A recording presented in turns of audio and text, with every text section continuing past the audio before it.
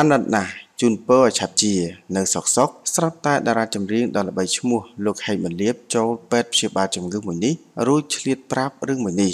ពុកម៉ែបងប្អូនក៏ដូចជាទស្សនិកជនទូទៅមិនតិចអ្នកទេពិតជានៅចាំច្បាស់ជាជាមិនខានតារាចម្រៀងដ៏ល្បីឈ្មោះម្នាក់ដែលមានទឹកដលសំនៀងមនោសញ្ចេតនាផ្អែមស្រទន់គឺលោកហេងបន្លាបនោះ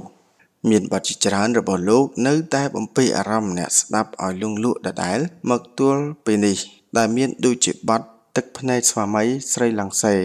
សឹកហួសព្រោះស្នេហ៍និងនៅមានបទពិរោះពិរោះច្រើនទៀតដែលមិនអាចរៀបរាប់អស់ចំណែកនៅថ្ងៃទី30ខែធ្នូឆ្នាំ2021អ្នកប្រប្រាស់នៅក្នុងបណ្ដាញសង្គម Facebook ជាច្រើនផ្ទុះការភ្ញាក់ផ្អើលយ៉ាងខ្លាំងក្រោយឃើញម្ចាស់គណនី Facebook ឈ្មោះថាហុកវាសនា បានបង្ហោះសាររូបភាពលោកប៉ុន្មានសន្លឹករួចប្រាប់ឲ្យដឹងថា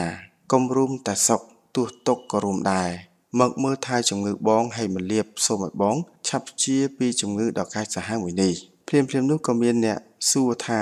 បងបន្លាបឈឺអីគណនី Facebook ខាងលើក៏បានបញ្ជាក់ថាគាត់មានបញ្ហាតម្រងនោម